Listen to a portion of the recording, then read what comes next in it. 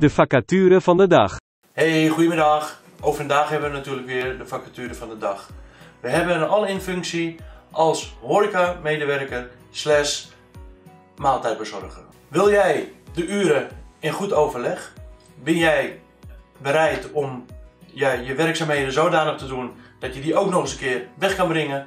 Dan is deze functie zeker wat voor jou. Wat maakt jou de perfecte match? Heb jij je rijbewijs B? Ben jij bereid om broodjes te smeren? Ben jij bereid om ze weg te brengen? En ben jij klantvriendelijk? Dan is deze functie echt wat voor jou. Interesse?